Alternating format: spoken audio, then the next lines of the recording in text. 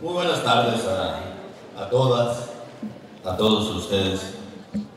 Nuevamente tengo el privilegio de poder estar aquí en Sinaloa, acompañando en esta ocasión a mis amigas y mis amigos eh, diputados eh, federales en un ejercicio que debe ser, eh, como bien lo mencionaba Marta, nuestra presidenta del PRI aquí en Sinaloa, obligación, obligación de todos aquellos que representan los intereses de la sociedad, del pueblo, de nuestra gente en la Cámara de Diputados.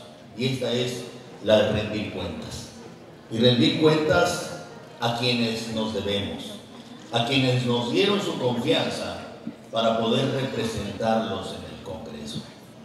En verdad quienes eh, hemos tenido el privilegio y con ello el orgullo de representar a, nuestro pueblo, lo sabemos. Y sabemos que eso es la máxima exigencia que quede en la memoria de los habitantes de una entidad. Por ello, saludo con enorme afecto y gran respeto el trabajo que lleva a cabo aquí en Sinaloa, mi amigo de ayer, de hoy y de siempre, Mario López López.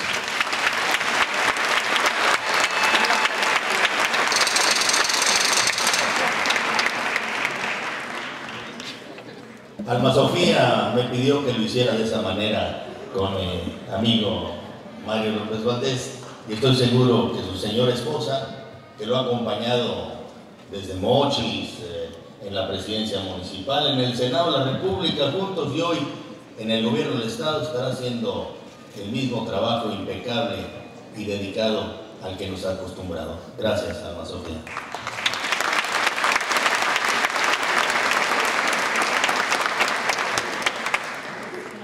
Déjenme platicarles un poco, intentando el no abusar mucho de su tiempo y pretendiendo el no aburrirlos demasiado. ¿Cuál es el eje de estas reformas con las que el día de hoy nuestras amigas y amigos diputados federales, representantes de Sinaloa, les han venido a rendir cuentas? Es eh, sumamente instructivo lo que ha sucedido. Lo saben eh, perfectamente los senadores eh, Aarón y nuestro amigo senador también Daniel, a quienes eh, les pido saluden a Diva, también nuestra querida amiga senadora, porque juntos eh, los senadores han hecho el trabajo con Ellos son clave también en la construcción de este México moderno que encabeza el presidente Enrique Peña. Y el eje fundamental es el que ustedes tienen en su sentimiento y en su las reformas de las que les estamos platicando sirven para que México crezca y que al crecer genere más trabajo, mejor remunerado y con esto nuestra sociedad, nuestra gente, nuestros niños, nuestros jóvenes, nuestras mujeres, nuestros hombres de trabajo progresen? Y la respuesta es sí, sí sirven para eso. Y por eso es que nosotros las apoyamos. Por eso es que fuimos juntos.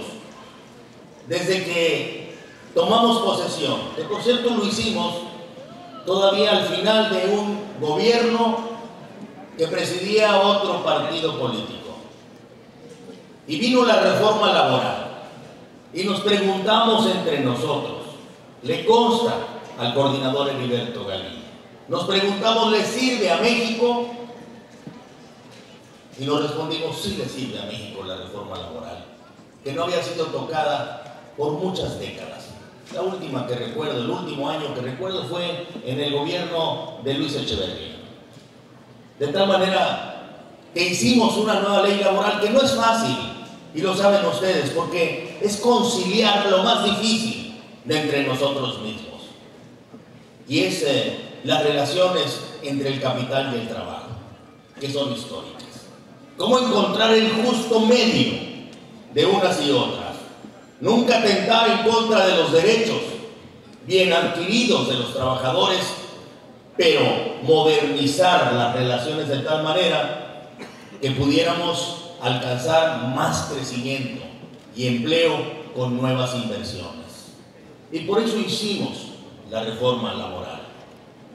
Pero el presidente Enrique Peña Nieto,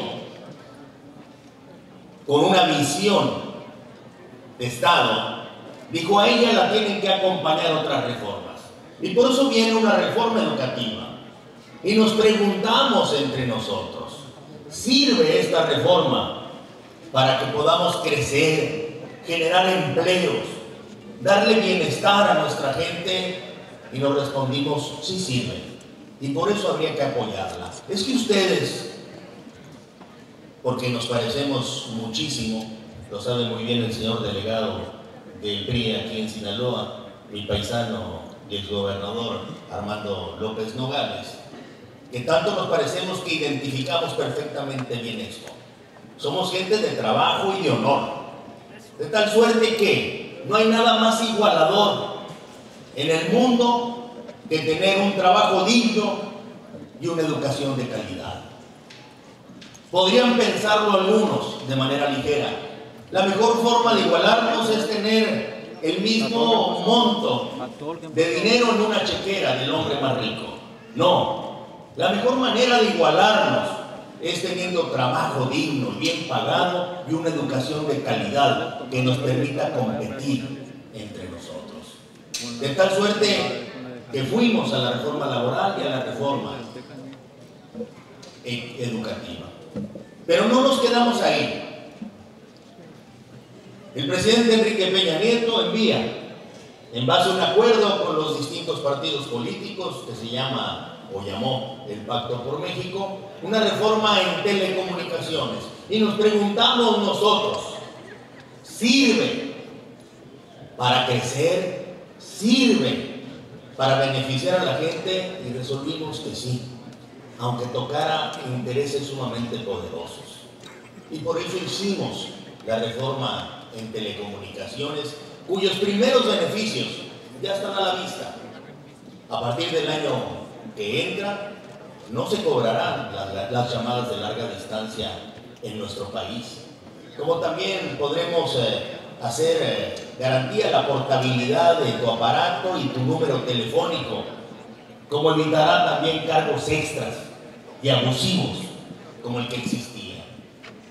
Y esos son los primeros logros. Y por eso dijimos, cuando recibimos la iniciativa en materia de competencia económica, sirve para crecer, sirve para que la gente tenga empleo y mejor remunerado. Claro que sí sirve. Esa fue la respuesta. Porque los monopolios en México son los que más daño nos pueden hacer. Nos restan competitividad. Y en ese momento quien paga más caro es el pueblo por los servicios que les prestan. Y por eso fuimos y votamos la reforma en competitividad. Y seguimos trabajando e hicimos una reforma en materia de justicia. Un código procesal penal único tiene su razón de ser. Es que los estados tenían códigos distintos, de tal suerte que los amparos entonces eran múltiples y la justicia se dilataba. Y nosotros lo que queremos es que no exista impunidad. Y por eso un código de procedimientos penales único es verdaderamente sumamente benéfico para el país. Y fuimos a modernizar una ley, la ley de amparo, la ley de más, más garantista que haya conocido en buena parte nuestra América y el mundo y que había perdido su vigor. Había otros países que apoyados en la idea mexicana garantista del amparo nos habían superado y fuimos y modificamos la ley de amparo. ¿Para beneficio de quién? Para beneficio de nuestra gente. Y por eso estuvimos ahí presentes. Y había que arreglarnos entre los partidos políticos porque quieren nuevas reglas electorales. Pues es que siempre eso sucede. El que pierde pide nuevas reglas para ver si gana. De tal suerte que sirve para que nos pongamos de acuerdo y no fastidiemos a la gente. Nos dimos una nueva ley electoral y política para poder avanzar en otras leyes que son importantes. Una reforma financiera que ya también está dando sus frutos. Vamos, sin esta reforma financiera no hubiésemos tenido la modificación de la financiera rural. Hoy en día, a partir de esta reforma, el sector agrícola, nuestro campo, podrá tener como nunca antes crédito en tasas menores a los dos dígitos. Quiero decir del 9, del 8% y nuestras mujeres más desprotegidas del campo, crédito también de esa naturaleza. Esta reforma financiera ya va dando sus primeros frutos, pero habrá muchas más que vendrán junto con la reforma hacendaria que también llevamos a cabo. Todo esto nos dirigía, nos dirigía a una reforma fundamental. Por mucho tiempo en México, la energía, el petróleo, ha servido para financiar a los gobiernos su presupuesto. Es la hora de cambiar de paradigma. Nosotros no necesitamos petróleo para que el presupuesto del gobierno o de los gobiernos sea más abultado. Nosotros necesitamos petróleo y energía para ser más competitivos. De tal suerte que si como bien me lo ha recordado en múltiples ocasiones el gobernador, mi amigo el gobernador Mario López Valdés, tenemos energía barata, nos volveremos más competitivos y al ser más competitivos, vamos a tener más inversiones. Al tener más inversiones, se generará más empleo. Y al tener más empleo e inversiones, habrá más pago de impuestos. Y al pagarse más impuestos, los gobiernos podrán financiarse mejor. Es una ruta distinta la que estamos siguiendo con el mismo instrumento el petróleo y la energía. Que por cierto, la reforma de ninguna manera implica el que el Estado mexicano deje de ser propietario de hasta la última gota de petróleo. Esas son las reformas que hacen el gran cambio y que hoy venimos a platicarles a ustedes. Pero nada de eso, nada de eso hubiera sido posible sin la participación de quienes a ustedes los representan en el Congreso y con ese objetivo. Lo han hecho, como bien lo decía Marta Tamayo, mi presidenta del partido en Sinaloa, con el talento de Heriberto Galindo. Lo hemos hecho con la enorme sensibilidad de Paquis Corral. Ha sucedido el acuerdo en el Congreso con el profesionalismo del almirante Galván. También eh, nos hemos apoyado y en mucho de la eficacia que ha demostrado siempre nuestro amigo Alfonso Insunza. Y es un privilegio siempre para cualquiera de nosotros tener el compromiso, el compromiso de nuestro amigo Román Alfredo Padilla. En verdad que yo les agradezco mucho que con la autenticidad de Blas de Blas Rubio, nosotros eh, vayamos siempre cobijando nuestras mejores ideas y con el empuje de una juventud modernizadora de Jesús Antonio Valdés, apoyado por el sentido social de nuestra amiga Mirna Velázquez. Con todo ello es como hemos trabajado. Y hemos trabajado juntos porque nos sentimos más fuertes de esa manera. Estoy convencido sumamente convencido de que sí, esta es una legislatura histórica. Y se los dice quien durante mucho tiempo ha permanecido en el Congreso buscando que las cosas buenas pasen, que las cosas buenas sucedan, que los cambios se presenten con objetivo, no dispersos. Es que hay que distinguir perfectamente bien lo que es la voluntad del voluntarismo ha habido muchos gobernantes voluntaristas que se han preguntado en algunas ocasiones hasta yo por qué tengo que hacer estas cosas. Pero muy pocos, muy pocos presidentes con una voluntad política, con una visión y un objetivo de Estado. Y aquí es donde saludo al presidente Enrique Peña Nieto.